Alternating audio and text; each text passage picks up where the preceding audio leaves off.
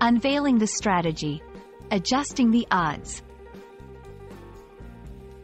Hello everyone, and welcome to our channel. Today, we're diving into an intriguing phrase that often pops up in both everyday conversations and strategic discussions, adjusting the odds. This phrase is a goldmine for English learners, as it encapsulates the essence of strategy, probability, and decision-making. So, let's embark on this linguistic journey together and uncover the depths of this fascinating expression.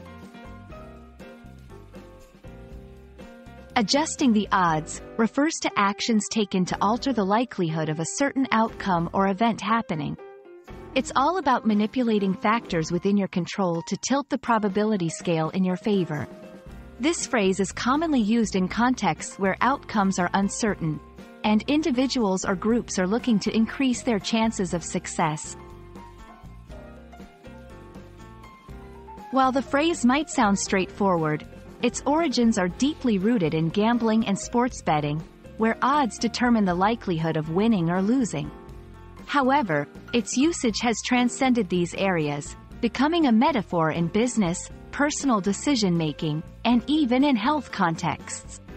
For example, a business might adjust the odds of its success by investing in new technology, or an individual might adjust the odds of leading a healthier life by adopting a better diet and regular exercise. To better grasp how to use adjusting the odds in conversation, let's look at a few examples. By studying harder for the upcoming exam, you're effectively adjusting the odds in favor of achieving a higher score the company decided to invest in renewable energy sources, adjusting the odds of leading the market in sustainability. After realizing the challenges ahead, they took strategic steps towards adjusting the odds of their project's success.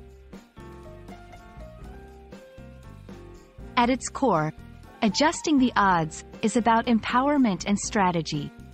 It encourages us to actively shape our destinies rather than leaving them to chance. This phrase embodies the idea that with the right actions, foresight, and determination, we can influence outcomes in our favor. It's a powerful reminder of the agency we possess over the directions our lives and endeavors take.